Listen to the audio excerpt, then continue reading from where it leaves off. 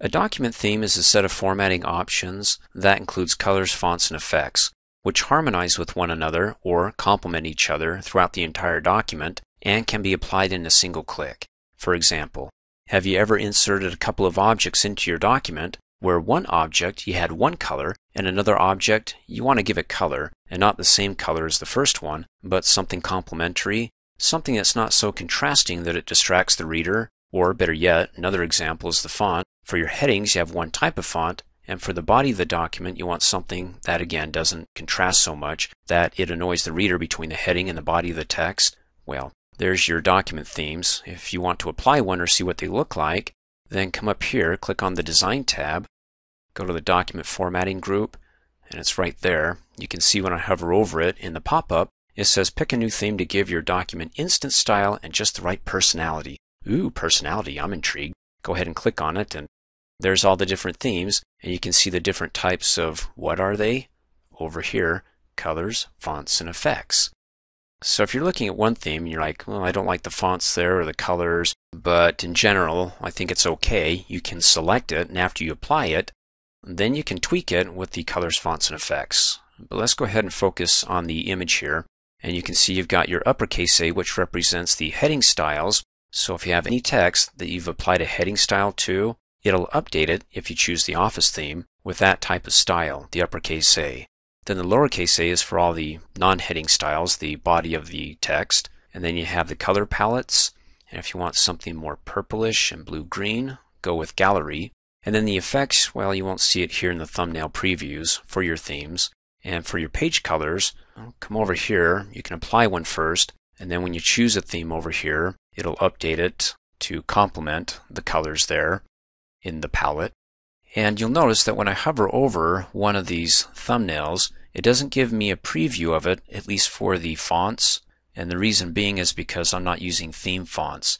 By default, Word has them turned on, and I basically turned them off. You want to know how that works? Well, let me show you. Let's click off. Let's come up here, click on the Home tab, go to the Font group, and well, let me just go ahead and click in the body of the text. And the type of font I'm using is Times New Roman. Now, is that a theme font? How do you know? Go ahead and click on the drop down arrow and you can see we've got three different sections. We have theme fonts, and it's not here, so I can't use themes. It won't update when I go to the Design tab to choose a theme. Then you have recently used fonts, then all the fonts. So if I want to go ahead and use the themes on the Design tab to have it update with the, well, whatever theme I choose, with the fonts for that theme, then I have to select all my text within the document and go with the body and go with that. That's Calibri. Now you're saying, wait, I don't like Calibri. Well, that's fine, but it has to be in that theme to kick it off. Then once you kick it off, you can go to the Design tab, because that's what it's all about, designing, and you can go down and tweak that and say, I want to go back to Times New Roman. You're probably asking, what's the point? You already have Times New Roman. Well, if I change my mind for different presentations, I can do it in a single click if I go with the themes. And I design it to have Times New Roman for the body. And for a different presentation, I can go ahead and customize another theme that I can go ahead and click on with something else in a single click without having to come down here, select the body of the text, and then come up here to change it to one type of font. And then when that presentation's done, go and change it to another type. And oh, that can take too long. So themes can be very advantageous if you're going to be doing a lot of changes or you want the ability to update it in a single click from, in this case, the default Calibri to something else, whatever the other themes are, and doesn't matter what they are because you can tweak them, which we'll go over in just a minute. So there's the Calibri for the body, and any heading styles that you apply will be in Cambria. So let's go ahead and do this thing. Let's select that and say you're a heading style. Okay, that's off, but that's all right. Let's stay focused and select this text right here. It's Times New Roman.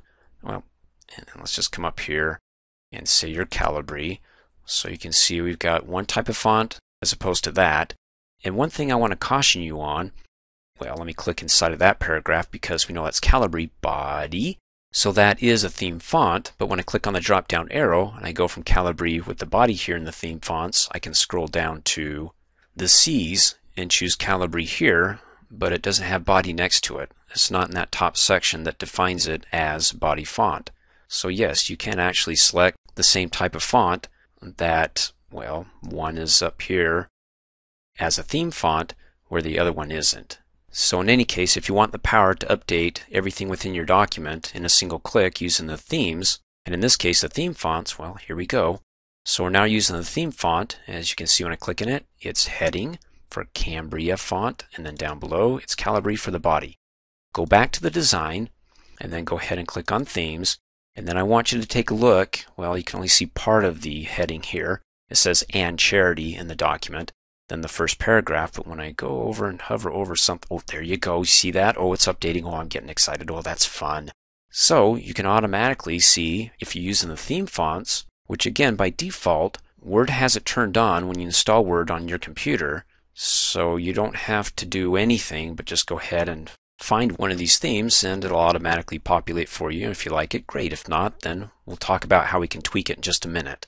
But if you're like me and you're like later on, you get somebody else's document, you're like, oh, I don't like that type of font. Let me just go ahead and choose that and come up here and click on the drop down arrow. I don't like Calibri. I like Times. Ooh, Times New Roman. Then I hit enter. Notice that Times New Roman is not the current theme font. So I take it out of that structure. It's no longer looked at as a theme. So if I come up here and try to choose another theme, the only thing that changes you know, well, as you can see is and charity behind here updates that because that's the heading style theme that gets updated with any other theme. So you have to start off with the theme fonts to be able to go ahead and use the additional themes here for it to go ahead and tag what's there that it can update.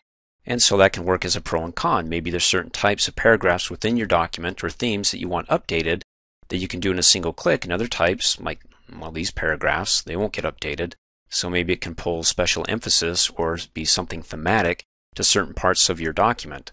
Again, maybe different presentations, either through a projector or just different presentations as a handout. In any case, you can have a lot of fun with that and can be quite powerful if your documents require as such, or certain parts are slightly different than the other parts. Let me go ahead and hit undo, and we'll just keep that as part of the themes there, the body theme. Now, after you apply a theme, again, you can customize it. And in this case, the fonts, if you don't like the heading style, well, this is, let's see, click in it, right click on it, Cambria, and then right click on this one, Calibri. Well, then come up here, click on fonts, and you can see the different types. And you can see it's just like that themes over here. You got the uppercase A, lowercase a. As you can see over here is for the heading styles and it gives you a sample for the uppercase A. And then for the body of the font, it's going to be in a different type of font as opposed to this style, which is the same type of font for your heading styles and the body, except that one's bigger, that one's smaller. So a smaller font size for the body of the text. In any case, if you don't like any of these, you can go ahead and click on Customize.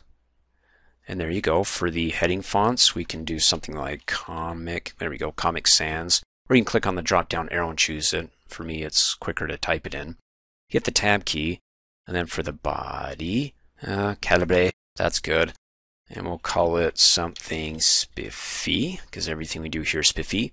Then hit the enter key on the keyboard, and hey, there you go. So it's updated. When I click in here, right click to bring up the mini formatting toolbars, Comic Sans, click on the drop down arrow, and it's a theme font.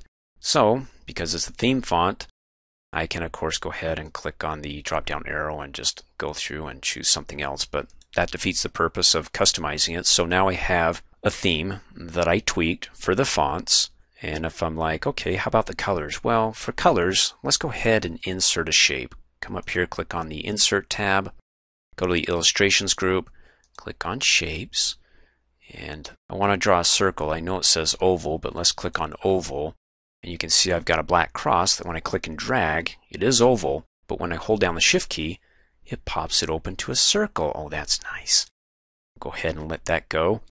And so now that we have something that's got color applied to it, if I go back to my Design tab and I click on Themes, you can see when I hover over it, it updates the circle to give me something that keeps it harmonized with everything else in the colors, the color palette for that theme. And if I don't like the colors, any of the themes here, or, you know, since I already tweaked the fonts here, I don't want to come back in here and choose something that's going to have a different font. So how about if we just go ahead and click on the colors drop down arrow and then go ahead and choose one of the themes here if you'd like. And you can see when I hover over blue green, well, the heading style updates. and well, you can't see the shape behind it updating. But if I click off and I click and drag the shape over here, okay, there we go. And then I can go ahead and hover over it and you see how it keeps it in harmony. Cool. If you don't like the palettes here, then you can go ahead and click on Customize Colors. And in the sample window, we have light text against a dark background. And then we have dark text against a light background. And so you can look over here and see which one, by deductive reasoning, there's black. So black text against a light background as opposed to white text against a dark background.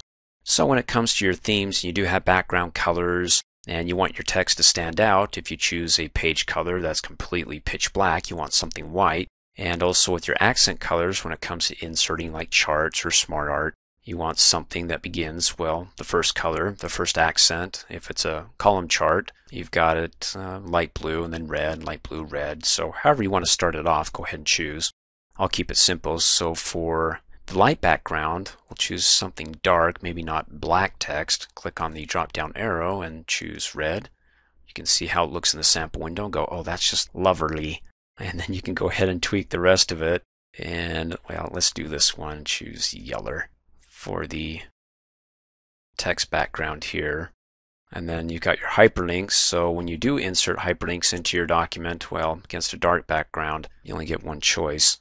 So if I go ahead and say don't make it blue, and there it is, make it something lighter. Well, that pops, but it doesn't work well against a light background now, does it? So I'll go ahead and change it back to that. In any case, go ahead and give it a name, something that you'll always remember, something spiffy. And then if you're like, eh, I don't like this, you can go ahead and reset it all. So it goes back to the way it was before we made the changes, but I'll keep it as spiffy and click Save and then come up here, click on the colors drop down arrow, and that's our spiffy setup as opposed to something else here. In any case, let's go ahead and click off.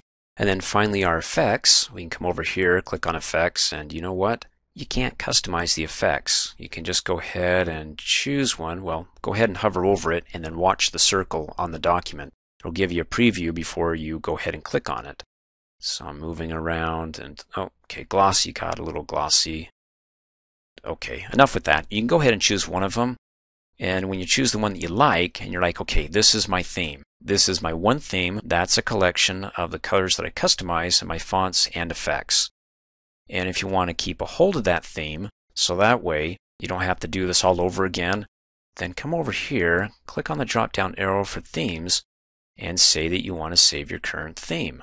Click on it, opens up the document themes folder, Let me click and drag and move it down. And since everything here was spiffy colors, spiffy fonts, then it's got to be a spiffy theme. And then go ahead and hit enter on the keyboard, and that's it. So if I come up here and click on File, go down to New, and click on Blank Document, is my theme available here?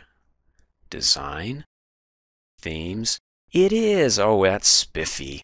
So let's go ahead and close out of here. It's available in all new documents. And if for some reason you need to go ahead and edit this, either the themes, the colors, the fonts, well, let's do themes first. Click on it and then right click on your spiffy. You can delete it. That's the best you can do. But if you want to tweak this, then with it already selected and applied in the document, then you can come over here and tweak everything here, then just go ahead and save it as something else. And then come over here, click on colors. You can right click on your spiffy color. You can go ahead and edit it, make changes to it, and of course, you can go ahead and right click on it to delete it. And then your fonts, same thing. There's my custom font, right click, edit, and or right click to delete. And the effects, just the way they are. You can't make any changes by right clicking on them. You can add gallery to the quick access toolbar if you want to add it up here, but I'll leave it alone. And then one more thing, how about the page color? Don't want to forget that. Come over to the page background, click on page color, in case if you do want a page color. And if we choose something light, well, let's just apply one. There we go. And I come back up here, click on themes. Of course, any that I choose here will update it with its own page color. Wow, that is quite the circuit. In any case, if you want a page color, go ahead and apply it. You may want to work on choosing something that's complementary, and that seems okay. And then if you want to go ahead and update your theme, that includes not only the colors, fonts, and effects, but the background page color, then go ahead and click on themes. And then you can't right click on it to say go save it. So you have to come down here and click on save current theme. And you can overwrite the theme that we just saved, Spiffy, by selecting it, then clicking save. And we want to replace it, yes. So now it's been updated. Anytime we create a new blank document, it's going to be there until we go ahead and come up here and right click on it to delete it. Thanks for watching. Hey, as a quick reminder, if you like my video, please give it a thumbs up. You can also click on me and subscribe to my channel, get notified of the latest videos, and for only $2 a month, you can have access to all my Microsoft Office training videos.